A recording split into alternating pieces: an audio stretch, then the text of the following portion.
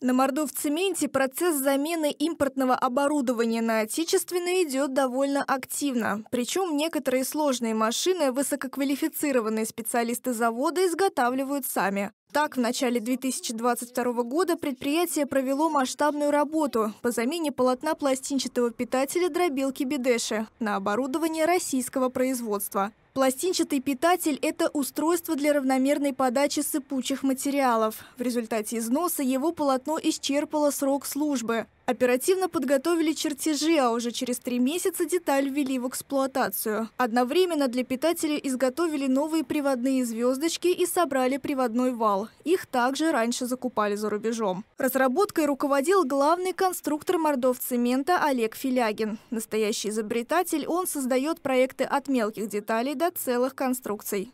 Всего за прошлый год в рамках программы по импортозамещению нами было разработано около 600 различных чертежей.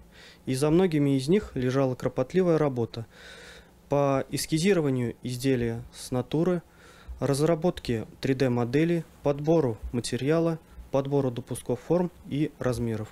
Эта непростая работа оказывает высокий экономический эффект для предприятия и снижает себестоимость продукции.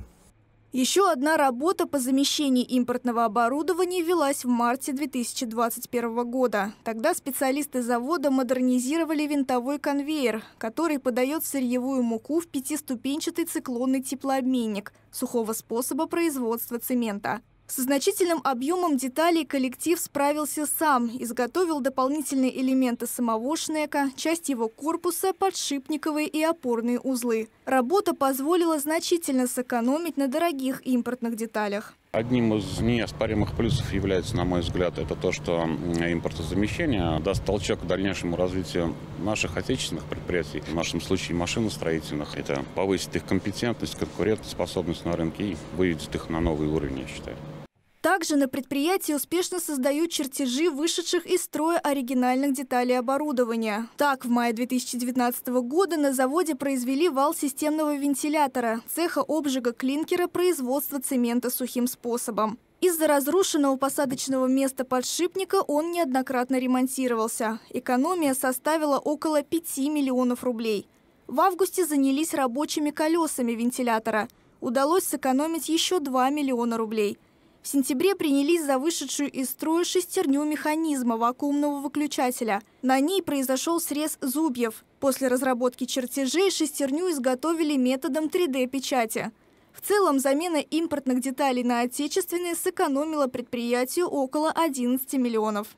На Мордовцементе не в первый раз закрываются производственные потребности э, в оборудовании и их комплектующих по программе импортозамещения. Надо отметить, что введение санкций не является угрожающим фактором российской экономики, а скорее стимул для дальнейших развитий своих разработок. Я уверен, что в России есть компании, которые могут конкурировать с зарубежными производителями оборудования.